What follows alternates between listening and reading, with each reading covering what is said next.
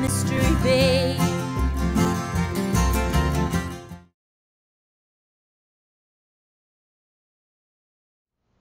I had a really tough time rating my favourite season.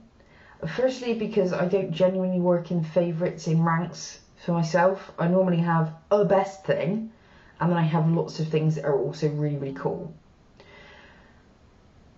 In this one, the only thing I was clear about was that one was my least favourite, and that would imply that one was somehow weak. It really wasn't.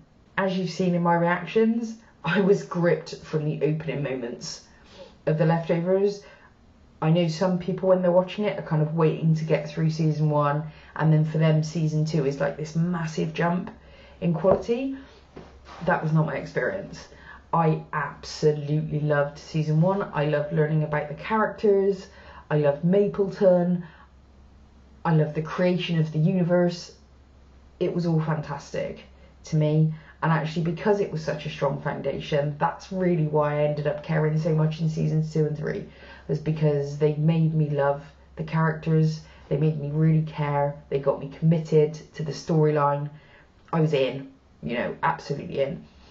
But I really had trouble with seasons two and three, which which was my favourite season. So I've given them a rank. I've I've put three at, at one and two at two and I'll explain my thinking because I think there's a case for either. But here's where I'm coming from. Two is absolutely the best season in terms of the structure of the storytelling, period, for me.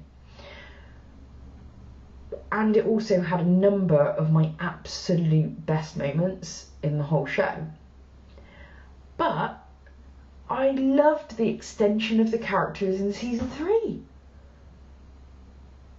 I absolutely loved it. And my favourite ep- single episode and my favourite moments were in season three. So for that reason, I'm putting season three in number one because it's just further down the line for me. You know, it's like the way that things developed in season three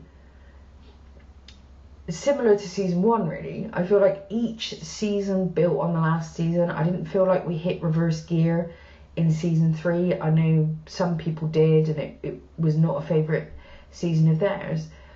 But I absolutely adored it from you know from the from the first second. I loved it. I think the finale was difficult as an episode because, as I said in the review, it was an epilogue, and my favourite characters at that point weren't in it they were just they were just referred to. But it was still a beautiful epilogue to the story. And I enjoyed it all the way through for that. You know, was it my favourite episode of The Leftovers? No, by quite a long way.